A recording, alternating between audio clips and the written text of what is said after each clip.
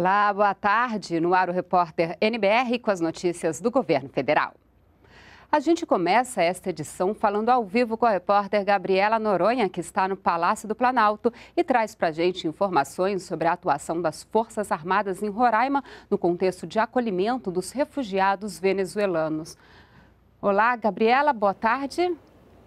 Olá, Alessandra, boa tarde, uma boa tarde a todos. Olha, um decreto publicado nesta terça-feira no Diário Oficial da União garante aí o uso das Forças Armadas para a proteção de instalações e atividades de acolhimento aos imigrantes venezuelanos em Roraima. Hoje em dia, os militares já atuam por força de uma GLO na região e o decreto aumentou o prazo desta atuação.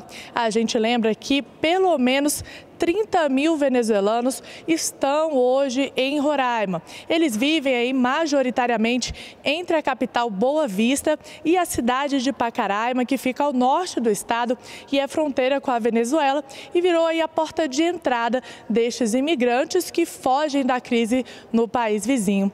Volto com você no estúdio, Alessandra. Obrigada, Gabriela, pelas informações. Um bom trabalho para você aí no Palácio do Planalto. E já está pronto o espaço onde vai funcionar a sede do gabinete de transição.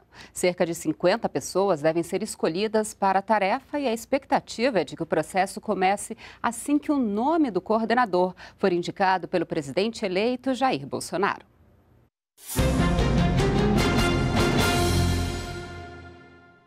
Durante a entrevista para detalhar o processo de transição de governo, o ministro-chefe da Casa Civil, Eliseu Padilha, reforçou que a intenção é fazer uma transição com transparência.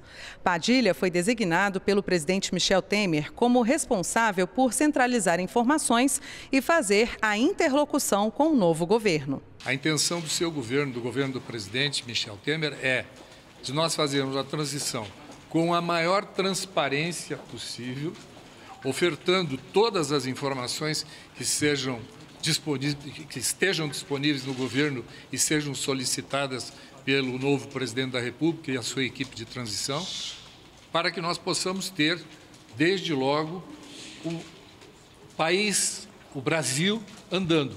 Nós não podemos imaginar que chegaríamos no dia 31 de dezembro e aí para a máquina do atual governo e a outra máquina iria demorar tempo para iniciar as suas ações. O processo de transição é regulado por uma lei com o objetivo de fornecer informações da administração pública federal para a nova gestão. Sobre isso, o ministro Padilha informou que foi lançado, criado um programa, o E-Governa, que reúne essas informações no auxílio à nova gestão. Neste programa, encontrar-se-ão os dados de todos os ministérios. Como é que foi o que o governo Temer fez nos ministérios, aquilo que está em andamento e aquilo ainda que está projetado. A estrutura de todos os ministérios estará também neste mesmo programa, para que se saiba quantos cargos são, quais os cargos que existem eh, no Ministério dos Transportes, quais os cargos que existem na Casa Civil, quais os cargos que existem, enfim, todos os cargos que existem na estrutura dos ministérios, para que o novo governo possa, desde logo, ir preparando as suas equipes para poder assumir o governo lá no dia 2 de, de janeiro, no dia 1 de janeiro. A sede do gabinete de transição será no Centro Cultural Banco do Brasil, em Brasília. A estrutura física vai funcionar numa área de 1.950 metros quadrados. Serão ao todo 22 gabinetes, incluindo do presidente e vice-presidente da República, com 78 posições de trabalho. Todos eles já estão equipados com móveis e computadores cedidos pelo Banco do Brasil. Tudo pronto para receber a equipe, que deverá contar com cerca de 50 pessoas.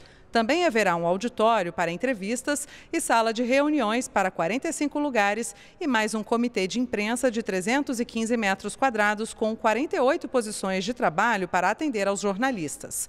A Polícia Federal fará a segurança do local. O governo de transição tem início assim que o nome do coordenador for indicado pelo presidente eleito Jair Bolsonaro. O deputado Onyx Lorenzoni, depois de proclamado o resultado, e me dizia ele que na quarta-feira a intenção dele é vir já com os primeiros nomes para a composição da comissão de transição, da, do, da, da equipe de transição.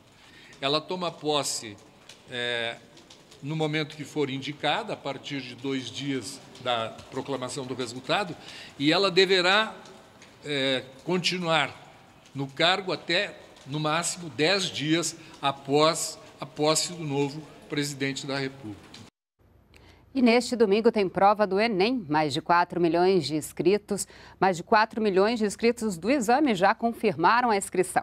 O cartão de confirmação pode ser acessado pela página do participante ou pelo aplicativo do Enem 2018, disponível para download para tablets e também para celulares. Todas as informações e links podem ser acessados pelo site do Enem no endereço enem.inep.gov.br. Vamos ver agora algumas recomendações para quem vai encarar encarar essa maratona de provas. Isabela está fazendo o Exame Nacional do Ensino Médio, o Enem, pela segunda vez. Faltando menos de uma semana para a primeira prova, ela já está no processo de desaceleração. Eu estou mais tranquila durante essa semana, assim, porque eu estou usando desde o início do ano. Então, eu sei, eu sei tudo que eu já podia fazer para estudar, eu já fiz. E agora, nessa última semana, eu estou revisando, mas não tanto, assim, igual na, nos outros meses. Assim como Isabela, mais de 5 milhões e meio de pessoas vão fazer o Enem, que começa no próximo domingo, dia 4 de novembro. Nesse cursinho preparatório, 150 alunos estão sendo preparados. E para se sair bem no exame, a diretora dá algumas dicas importantes. A primeira recomendação é a tranquilidade é um descanso esta semana, administrar a ansiedade, evitar rede social a partir de sexta-feira para não causar ansiedade neles, é, a preocupação com a alimentação, ter uma alimentação menos pesada essa semana, se hidratar principalmente de sexta para frente, porque o domingo é um dia pesado, e o principal é lembrar que domingo começa o horário de verão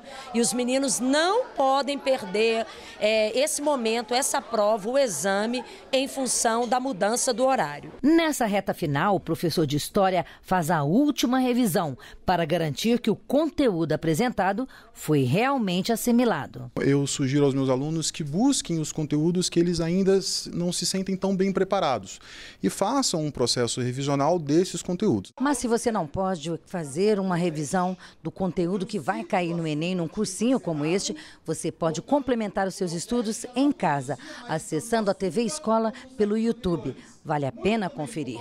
O material pode te ajudar nessa reta final. Para a nota mil da redação do Enem. Sim. Entendeu como todas essas ideias estão aqui? Eu pego essas ideias e eu vou colocando ela aqui, ó. ó. Olha como ela vem. Para o Ministério da Educação, uma outra ação importante a ser feita nessa semana pré-ENEM é o acesso ao cartão de confirmação do local. Não é obrigatório levar esse cartão no dia, mas a gente recomenda que leve. Nesse cartão tem várias informações que os participantes precisam para o dia da prova.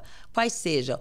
Tem o endereço do local dele, mas também tem se ele pedir algum tipo de recurso, porque ele tem, ele é portador de uma necessidade especial, todas as informações estão nesse cartão de prova. Então é importante que os participantes acessem o site do INEP, do Enem, desculpe, acesse o site do Enem e verifique seu cartão de local de prova.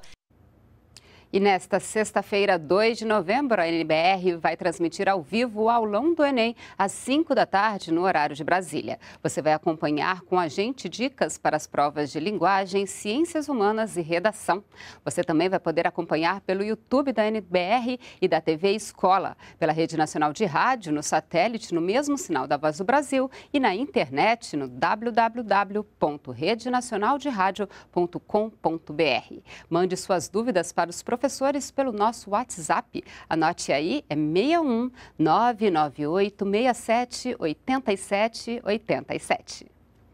Nós ficamos por aqui. Você acompanha a nossa programação ao vivo pelo site da NBR. Todas as reportagens estão em nosso canal no YouTube. Acesse também o nosso perfil no Twitter. Você pode mandar suas sugestões de reportagens e dúvidas sobre programas e ações do governo federal para o nosso WhatsApp. E pode mandar também suas dúvidas do Enem. Então, mais uma vez, anote aí. é 61 99867 8787. Uma boa tarde para você e continue com a gente aqui na NBR, a TV do Governo Federal.